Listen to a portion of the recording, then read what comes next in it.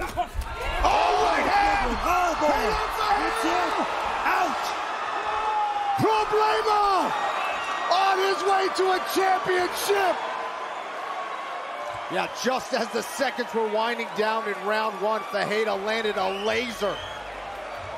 All right, let's check out some replays here. You see the exposure of the center line with Greene as he advanced to try to throw a strike, and that just allowed Ferreira to land a laser of a right hand. But at these ground and pound strikes, these right hands that came from the top of the Hulu Theater here at MSG, just nasty.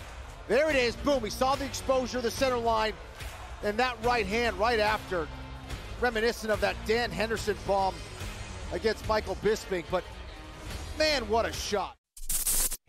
Thank you for watching ESPN on YouTube. For live streaming sports and premium content, subscribe to ESPN Plus.